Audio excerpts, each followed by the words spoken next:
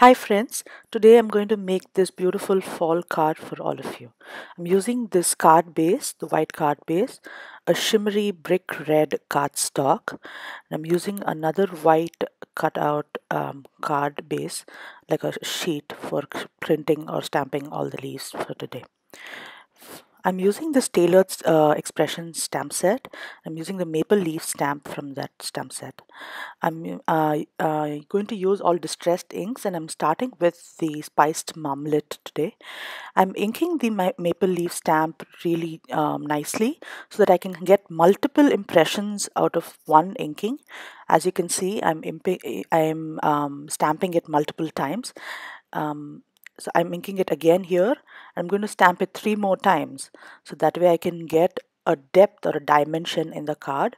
As you can see, the first impression is nice and dark. The second or the third goes lighter, giving it more depth. You know, illusion that the darker ones appear in the front and the lighter ones are falling behind.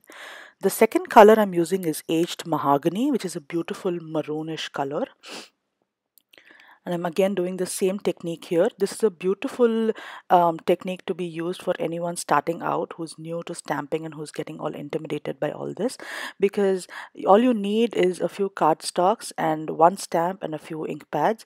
You can stamp this randomly. As you can see, I'm just going randomly inside. I'm not uh, having any calculations or any patterns.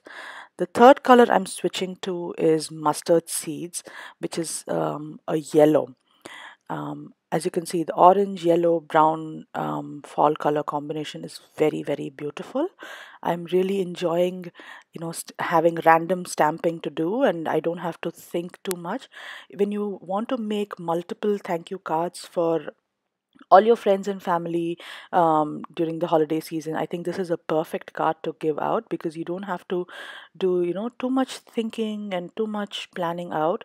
You can just go randomly this is a beautiful green color I'm using called Pine Needle. I'm all I'm using all distress inks today um, because it, it has all the nice colors A and B you can use um, some water you can uh, uh, splash some water at the end of the card and you can give this nice muddy watery effect that the fall colors usually have.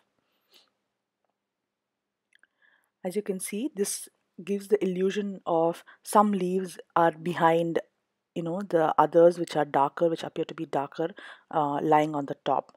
So that's why I like to stamp it multiple times. If you do not like to overlap a color on top of the other it's fine. You can stop it right here. But I kind of like the muddy look.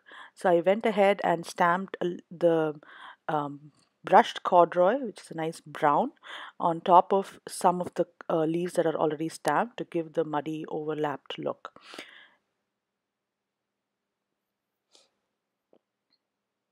You can even use the MISTI tool if you want if uh, to go ahead and do a multiple number of like um you know if you want to do more number of the same kind of cards you can do you can use the MISTI tool as well but I feel this is a great um, way to just nicely enjoy yourself while you're making a beautiful card like the fall colored leaves.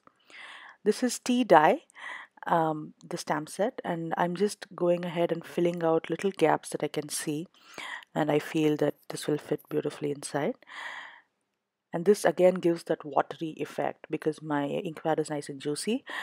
Um, finally I'm going to stamp my um, I'm sorry, I'm just cleaning my um, matte work surface and I'm going to, instead of stamping my um, sentiment for the day, I decided to go with some of the um, embellishments that I had and I love this quote um, that I happen to have uh, in my stash.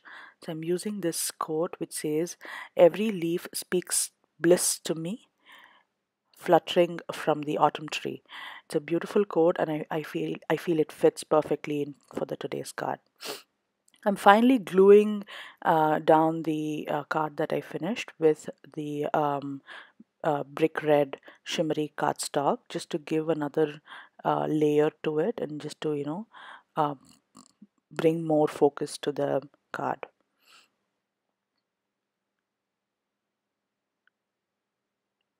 I'm just trying to center it and finally I'll be gluing this cardstock to the white card base that I first showed you.